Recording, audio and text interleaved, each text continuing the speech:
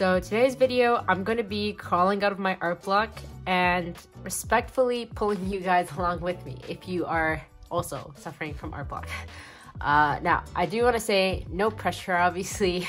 Uh, I know how crazy art block can be, and like sometimes you can force yourself out of it, sometimes you definitely cannot. So if you feel like you really can't draw right now, uh, that's totally fine. Uh, don't feel pressure for me. I just want to say before this starts, this video took three attempts. The first attempt, it was so horrible, so fake, so like forced. Like I just like caged myself into drawing on my desk and it made my art block 10 times worse. So definitely don't recommend doing that.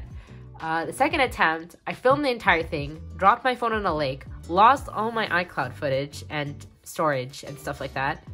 Um, and and and yeah, uh, it's gone. It's gone forever. Now the third attempt, I kind of just like fell off. Uh, it was a week after I dropped my phone in the lake, and I don't know, just a lot of things were happening, which I'll get into during the voiceover for this video, just because it would be kind of boring to get into right now with with my hands and my desk. So yeah, a lot of things have been going on. Uh, I haven't necessarily been heavily art blocked for the past week. I think I've just been casually art blocked. So um, this video is still like genuine. Like I am suffering. I don't worry about that. Uh, and if you're suffering too, then uh, I hope I hope this video helps in a casual, not forced, not intimidating kind of way. I don't know. Anyways, um, today's video, I'm going to be working in my sketchbook, but it's not a sketchbook session because I noticed sketchbook sessions stress me out and I do not want to continue like the pattern of being stressed and forcing myself to work in my sketchbook, forcing myself to be fancy with it. You know, like I want this to be a casual crawl out of my art block with me kind of thing. So I actually posted a community post on my channel asking for like advice when it comes to art block and there's a lot of incredible replies on that community post. Uh, if you're feeling down and you just want to like see other people's opinions and stuff like that, I highly recommend reading through that community post. It's really supportive. The advice is like not overwhelming. It's just like it's really smart advice most of the time. I really appreciated reading through those comments so like thank you all so much for the comments in that post. It really helped me and it made me realize that my first attempt at making the art block video was just like so fake and forced, you know? Anyways, one of the main advice that I've seen on that post is trying new supplies. And so today we have some new supplies from Arrtx. They very kindly sent me these acrylic marker sets. I thought they were just gonna send me one set, but they actually ended up sending me both. So uh, I already opened these as you can see, and then I dropped my phone in the lake. So yeah, these are already opened. Also, I already swatched out the colors on this one page in my sketchbook. Let me see. Oh yeah, this page here. So this page here has all the swatches, and it also has a drawing of our new kitten, Mish Mish. He's a cutie pie. Um, so today I'm gonna be actually trying the markers out properly, you know, like mixing it all together, making artwork with it on this spread here and potentially this spread here, maybe even this one. This is a sticker I got from an artist. Here's her website. It's adorable. I love it so much. So yeah, I'm gonna stop procrastinating like I have been for the past 40 minutes trying to make this intro and just jump straight into it. Uh, I have a couple ideas of what I'm gonna draw, uh, mainly because the past few weeks have been so chaotic. Like, so many things happen at once, which I'll go over as I'm drawing each thing. Um, yeah, I've never been so busy in my life. It's kind of it's kind of crazy, but it also kind of helps with the art block in a weird way. So I'm really excited to get started. It's been a couple of days that I've wanted to start this. So yeah. Okay, so the first thing I did uh, in in this spread here is uh, glue my driving license receipt. It's just like the receipt I got after passing my G2 test. I can now drive alone, so that's great. Anyways, uh, the first drawing I did was of a school bus. And this school bus comes with a really long story, and that long story is connected to how I dropped my phone in the lake. So this story all starts when I decided I needed a change of pace. I needed to go outside, touch some, not grass, but like snow and ice. And yeah, I went on this, uh, what's it called? Uh, winter camp. It was a winter camp revival retreat thingy. and it honestly helped me with my art block so, so much. So I feel like my first piece of advice for this video uh, for anyone who's also suffering for art from art block is to I don't know, do something you haven't done before or just like break the routine. Um, so I went to this camp, uh, spur of the moment decision, and it was really, really fun. There was no Wi Fi, and also I dropped my phone in the lake, so that kind of helped. But uh, yeah, there's no Wi Fi, no signal or anything. So you really did have to just go out in nature and, you know, have fun, uh, do some sports. I decided to go cross country skiing and we went skiing over a frozen over lake. So like the, the lake was frozen and it was solid and we went skiing, cross country skiing on it. And basically, long story short, my phone dropped out of my pocket somehow. And then I went searching for it right away because I noticed it was missing right away. And couldn't find it. I think me, two friends, and my sister walked like 10 kilometers just looking for it all day and even at night a little bit. And there's just no sign of it on the trail. So, yeah, I just resigned myself to the fact that like my phone is gonna sink to the bottom of a lake this summer or spring even. But yeah, all my data was gone. Uh, my my SIM card was gone. Like my my brand new phone was gone. It was actually a brand new phone. That's the worst part. I forgot to mention. I bought it like a week before. It was seven days old. Anyways, um, very traumatizing. but like the thing is, um, because I didn't have a phone, I couldn't take a lot of pictures. So I used my sister's phone. Anyways, that's that's kind of besides the point. I really enjoyed the, the camp. Besides my phone being lost forever. Um, it was really it was a really nice change of pace. It was beautiful scenery. I got so inspired by so many things, and that's what leads us to this bus. Cause um, on the way back home, uh, our bus crashed. Uh, well, not crashed. Crash is kind of dramatic, but our bus got stuck in someone's driveway. Uh, it was kind of like a ditch, like a downward slope. So the bus was stuck and we had to stand out there for like an hour and 30 minutes. But yeah, that's the story of how I lost my phone and how I got over like my initial art block.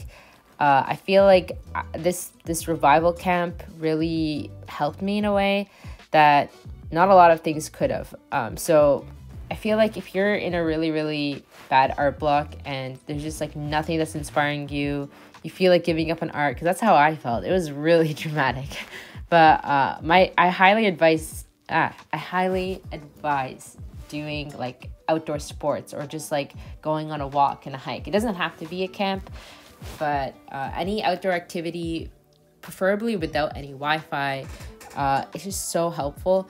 And doing it without the intention of doing arts, so like just doing it casually for fun, helps a lot as well. Because like I notice something with myself, the minute I do something for the sake of getting out of an art block, it just doesn't work.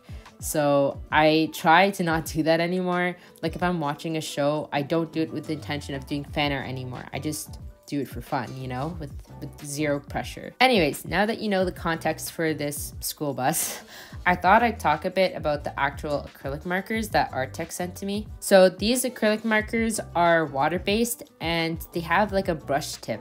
So it's really handy for like coloring large areas as well as like small details. I found the like the width variation of like the brush tip was just so good. I was I was actually really surprised. Like I was able to write like really tiny words, like put tiny highlights and also just like color in big blocks of area, if that makes sense. Now, I do have to admit the nibs did wear out a little bit over time, but they still kept a point. It's just like, I feel like they got a little bit flimsy in some of the colors, and when the paper would tear a little bit just because of the paper, not really the pens. And there wasn't a lot of tearing, by the way, but like when the paper would tear a bit, you just have to like clean off the nib because like some stuff would get attached and it would be annoying.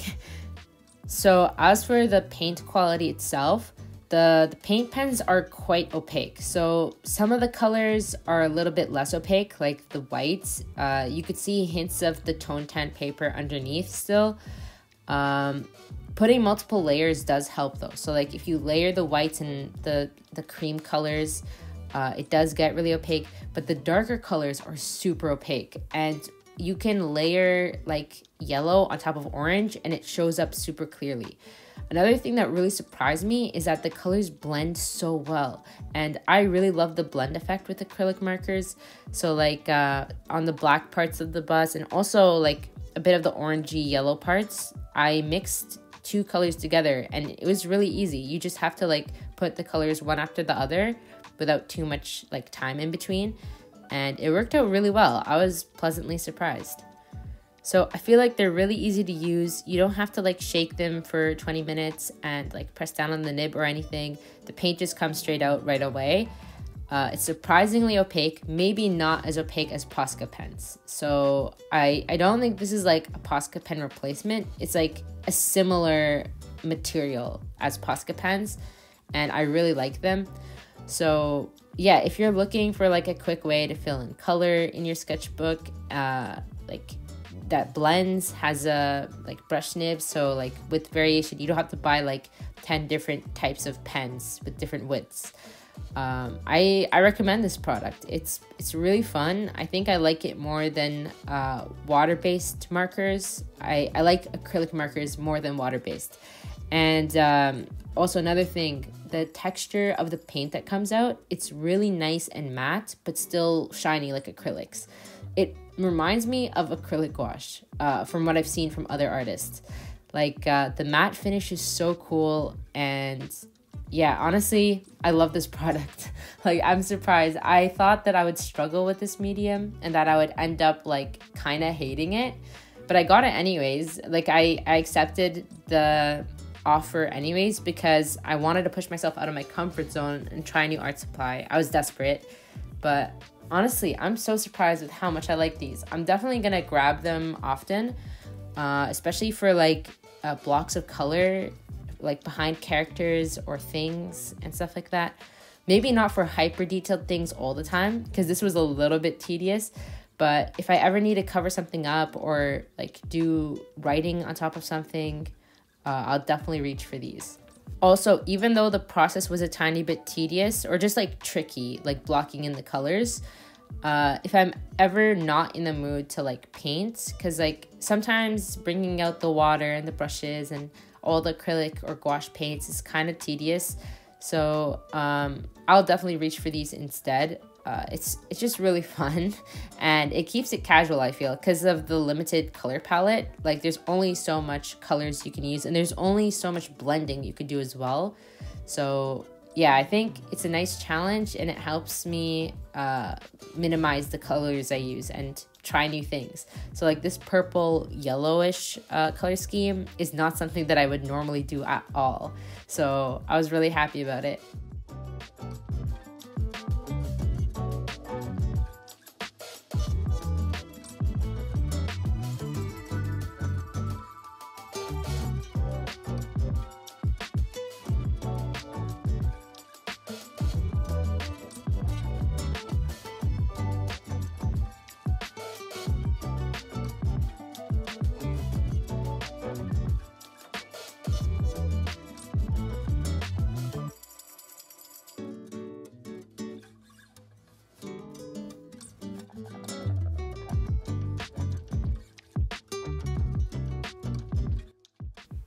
Alright, so here I'm just scrapbooking some random papers and I really love the effect that it makes. I lost a little bit of footage, but the imported footage is right over here. Uh, so over here, I'm drawing Cartman and Butters from South Park. I recently became obsessed with South Park. I've watched it before, like when I was like, I don't know, 17, 18 or something, like a couple years back. Uh, and then I stopped, and now I'm just like rewatching it, and I got further than I've ever gone before.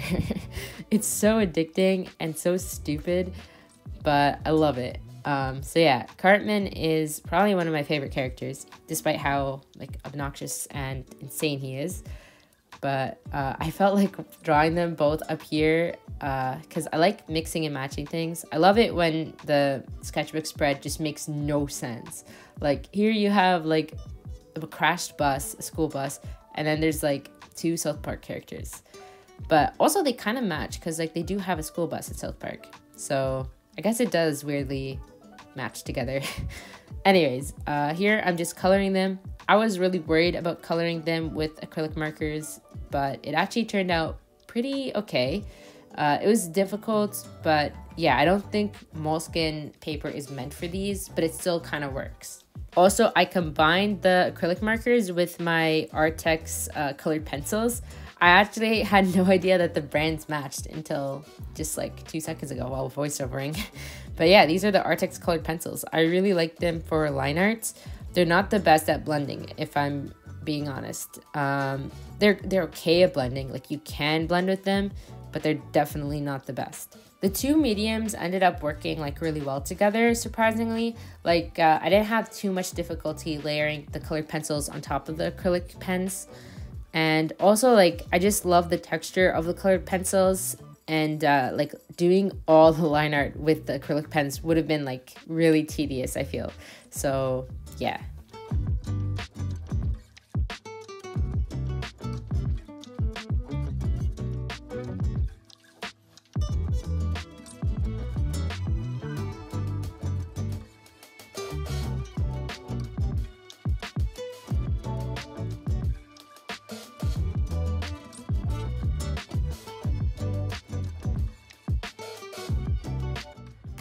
All right, I think I'm finally done with this spread here. I'm actually really happy with how it turned out. Uh, I might just add some like final touches with the whites. Forgot about that. here we go. As you can see, the paint pens are really opaque. I love how they work. And overall, I feel like this is a really good product and really affordable too. I like it more, I like these paint pens more than the few Posca pen. Nah, I can't speak. I like these paint pens more than the tiny amount of Posca pens that I have. But maybe don't take my word for it because, again, I've only ever used the white and orange Posca pens. So I really don't know. Uh, but anyways, I really love these. They're affordable. The brush tip makes it really flexible and you can get like uh, line width variation super easily. Also, you don't have to shake these for 20 minutes and like press them down and potentially destroy the nibs. Just trying to get the ink out. The ink comes out immediately. So um, yeah, anyways, enough talk about the pens. Um, I think I'm gonna move on to this page here. Just in case, uh, I don't think it's gonna smudge or get ruined, but just in case, I'm gonna put a tissue here uh, that way when I'm pressing hard on this page while drawing, nothing crazy happens. Alright, so for the second spread, I basically just drew a bunch of things that like happened during the week after the camp. Uh, my week got so busy and I wasn't able to like draw much and uh, like like record anything because that's why this video is so late. It's just like one thing came up after the other and it was so intense and crazy. But yeah, uh, this is a drawing of myself. It's a self portrait. I don't know. I kind of like drawing myself because um, it's it's fun uh, and like it's not an original character. It's it's literally just me, so I don't feel too much cringe drawing myself.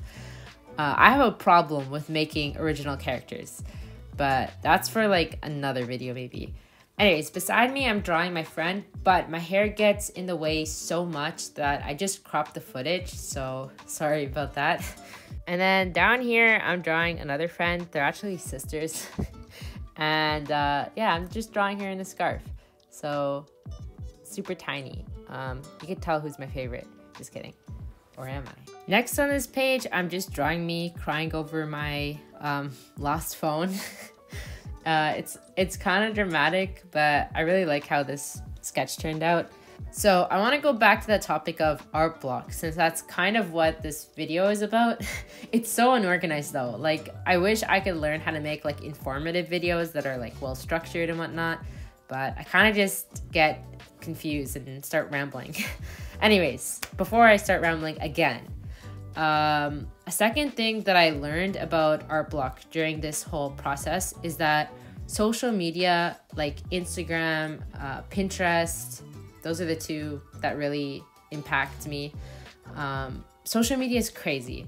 Uh, and taking a break from social media was so important for me to get over this art block. Like, as you could see on this spread and even the previous spread, I'm not using any reference photos from Pinterest.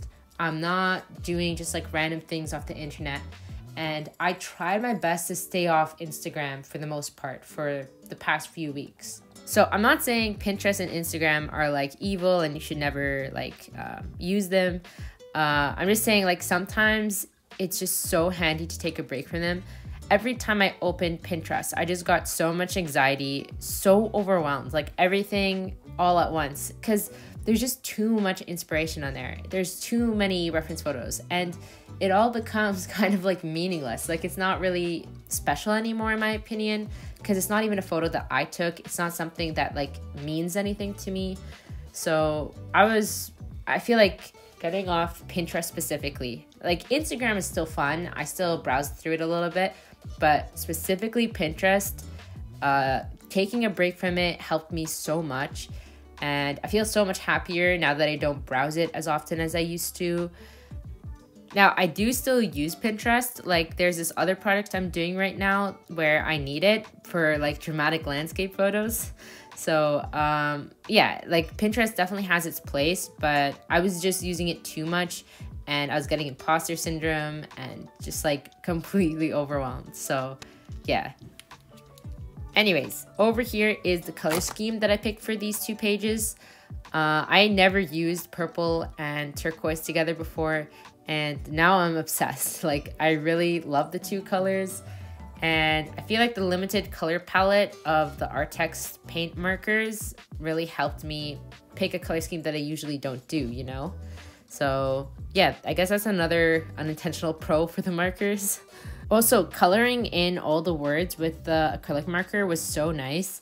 Like, uh, usually I go over the Col-Erase pencil words, like the initial sketch words, with colored pencils, and it's not nearly as opaque. Like, the purple Col-Erase pencil still shines through, so I usually have to like erase and then do it all over again. But the acrylic markers make it so simple because it just like completely obliterates the Col-Erase pencil and like lays opaquely on top of it. Anyways, after that, I basically just added some borders and some final stars, and that was it for the markers. Uh, for this page, I decided to use watercolors to color in uh, like most of the sketches.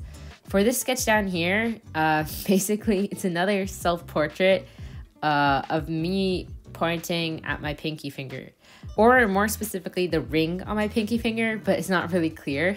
Anyways, in engineering, uh, I think it's just an Ontario thing or maybe a Canada thing, I'm not sure. But they give us an iron ring that isn't made of iron to like celebrate us graduating. I'm graduating this summer, hopefully. Like, uh, this right now is my last semester. Spring, I'll be done. So, yeah, I got my not iron iron ring. I think it's made of like steel or something. but I think iron just sounds cooler. And also, there's like a whole story about it, like why we have the ring and whatnot. I won't bore you with it. It's it's kind of like it's kind of weird, but also kind of cool. I don't know. I really like this ring. I actually sleep with it now. Like it never comes off my finger. So yeah, I wanted to draw something for that in my sketchbook. So I drew these like cute little doodles. I actually really like the style. Um, like the smile on the first uh, doodle of myself is just so funny. so yeah. Also here I drew another um, another variation of my friend being smothered by uh, a scarf. I drew her twice and her sister only once. So you guys can probably guess who's my favorite now. Alright, so here's when I finally start painting with the watercolors. I use watercolors just because they're a lot faster than acrylic uh, paint markers uh, especially for things that are like so detailed and like composed of lots of different colors. Um, so yeah, I had I had fun using the watercolors and they they contrasted nicely with like the acrylic circles and stars and stuff like that. All right, so I don't have much to say for the painting process of this video since um, it's just painting. But um, I hope you guys enjoy watching the process. And I also really hope that this video helped in some way with like any art block or struggles you guys are having. Feel free to like comment down below like any advice you have or any struggles you're having. Um, I feel like we can make like a support group chat in the comment section um, for for all people struggling with art block and you know just like creative creative block, um, lack of inspiration, that sort of thing. Oh wait, I think the word I was looking for was burnout because like there's like art block and then there's also burnouts. So yeah, um, I'll go now and I'll see you guys again in the outro for this video.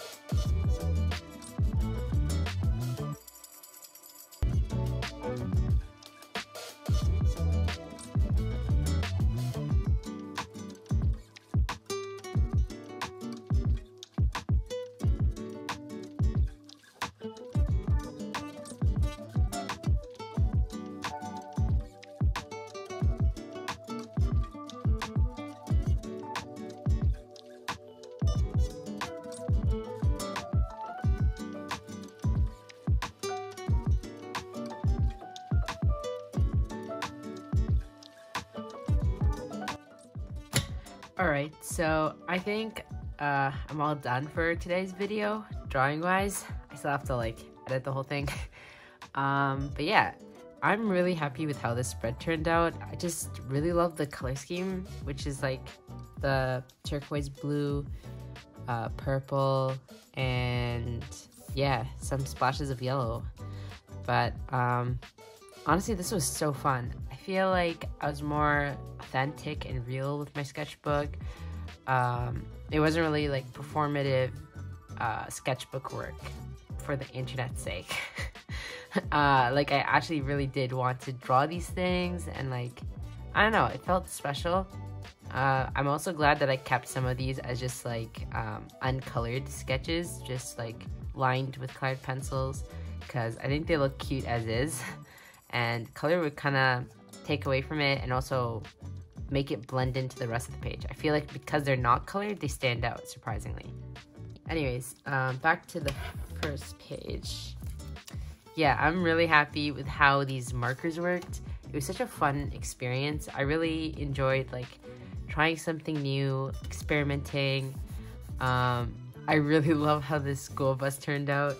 Uh, I think it needs a little bit of tweaking and final touches, but maybe I'll just leave it as is. I like how messy it is. Well, not messy, but like natural it looks.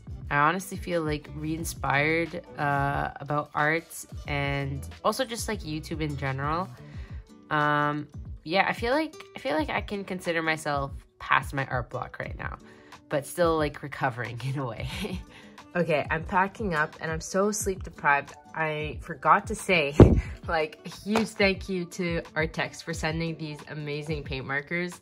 They were so fun to use.